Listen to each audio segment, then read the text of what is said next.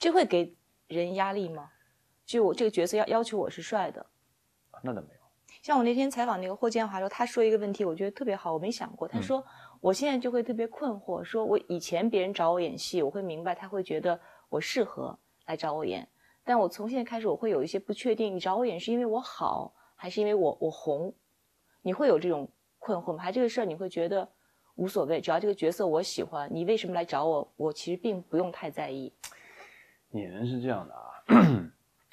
演员说到底是被动的一个职业，嗯，就是，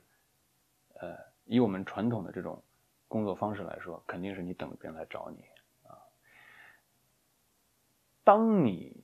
有能力可以去挑选的时候，就是同时有几个本子，当你有能力来挑选的时候，那你就是化被动为主动了，嗯，这个时候，那到底是合适还是红呢？我我我觉得可能红的成分会更多一些，因为大家需要你，嗯，需要你来参与这个戏，参与这个项目，嗯，但是你千万不要排斥，不要困惑，嗯你觉得他们是因为红才来找的你？其实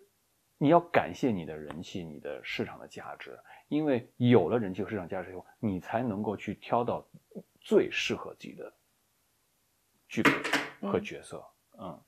如果你完全是靠等待